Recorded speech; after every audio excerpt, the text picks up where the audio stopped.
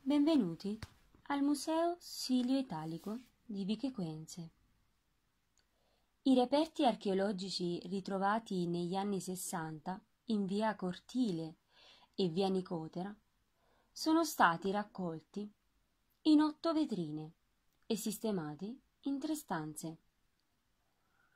I reperti sono datati dal VII secolo a.C. all'età romana e sono costituiti da vasi a figure nere e figure rosse, bronzi etruschi e campani, ceramica corinzia e ionica, bucchero e ceramica attica a vernice nera. L'antico abitato di Viche Quenze si sviluppava sul promontorio dell'attuale centro storico.